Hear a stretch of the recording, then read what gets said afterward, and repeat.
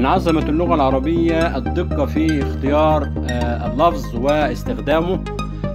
مثل قولنا أتى أي جاء من مكان قريب. قدم جاء من مكان بعيد.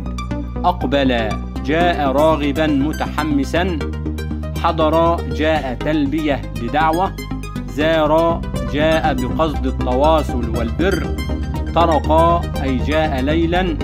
غشي جاء صدفة دون علم وافى جاء والتقى بالمقصود في الطريق ورد جاء بقصد التزود بالماء وفد جاء مع جماعة. حقا ما أجمل اللغة العربية التي تستخدم الألفاظ استخداماتها الصحيحة